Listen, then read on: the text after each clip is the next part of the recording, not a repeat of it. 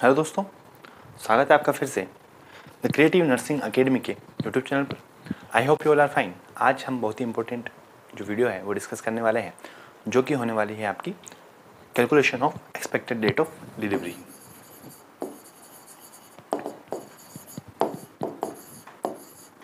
तो किस तरह से आप एक्सपेक्टेड डेट ऑफ़ डिलीवरी को कैलकुलेट कर सकते हैं? आज हम इस वीडियो में देखने वाले हैं। इससे रिलेटेड एक नया क्वेश्चन हर बार एग्ज़ाम में पूछा जाता है। तो आप वीडियो में आखिर तक बने रहिएगा। और अगर आप हमारे चैनल पर नए हैं दोस्तों तो आप चैनल को सब्सक्राइब ज़रूर कीजिएगा। ऐसे ही इंपॉर्टेंट अपडेट्स हम आपके लिए लेकर के आते रहते हैं और आपको, आप ही देखते ही होंगे। और आप ऑलरेडी सब्सक्राइब कर रखा है तो थैंक यू सो मच ठीक है, बार बार बोलता रहता हूँ, लेकिन क्या करें? बोलना पड़ता है। वैसे तो नहीं मांग रहे आपसे, सिर्फ़ सब्सक्राइब करने के लिए बोल रहे हैं। माता रानी की कृपा होगी। और आप जो है, क्या कहते हैं नर्सिंग ऑफिसर बन जाएँगे। तो ये है नेगलिस रूल्स ठीक है? Expected date of delivery calculate करना नेग्लिस रूल के द्वारा।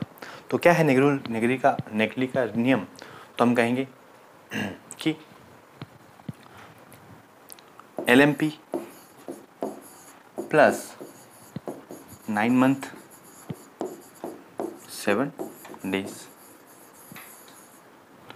last menstrual period जो है नेगली ने दिया था इसलिए इसका नेगली रूल नाम है।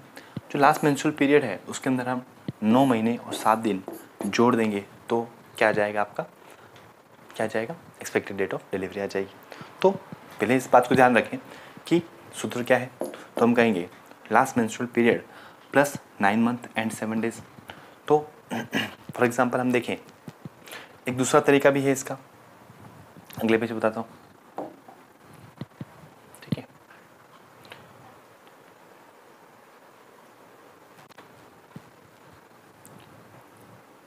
यहाँ पर क्या करेंगे हम?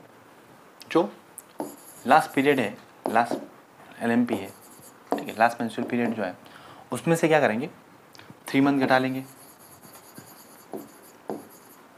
और प्लस सेवन डेज़ कर लेंगे। ठीक है प्लस वन ईयर कर लेंगे।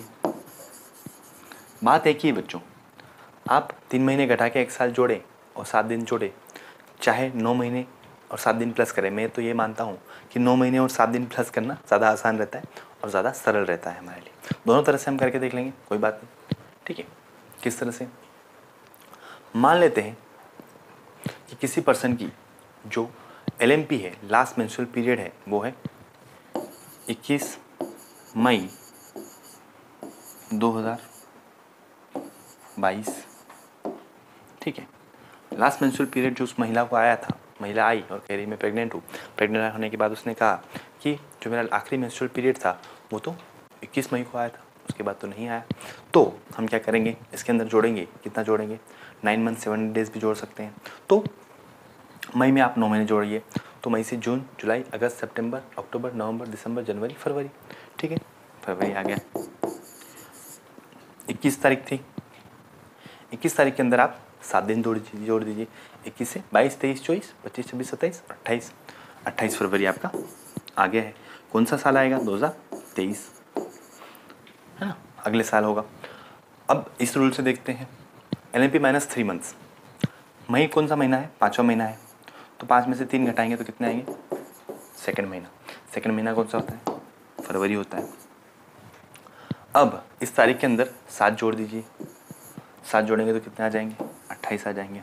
और 2022 के अंदर एक साल जोड़ दीजिए, कितना आ जाएगा? 2023 आ जाएगा। देखिए बच्चों, आया कि नहीं आया, समझ में आपको?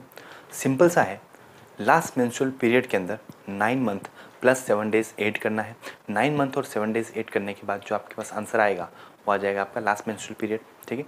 घबराना नहीं। है मेरे ख्याल से तीन महीने बेग जाने के बजाय आप नाइन मंथ और सेवन डेज़ ऐड करना ज़्यादा सही रहेगा। तो आप ऐड कर दें। एग्ज़ाम में बार बार इससे क्वेश्चन पूछा जाता है। ठीक है? मैं आपको एक क्वेश्चन दे देता हूँ। आप कमेंट करके बताएँ उसका आंसर क्या होगा। एक महिला है, उसका जो लास्ट मेंस्ट्रुअल पीरियड है, वो है ट्वेंटी नाइन अभी कौन सा महीना चल रहा है? अगस्त चल रहा है, जुलाई कर देते हैं। दो हज़ार बाईस। अब इसका एलएमपी आप कैलकुलेट करके मुझे कमेंट बॉक्स में बताएँ, या फिर मैं बता दूँगा, आपको नहीं आएगा तो। तो चलिए आज की क्लास यहीं तक thank you so much for watching have a great day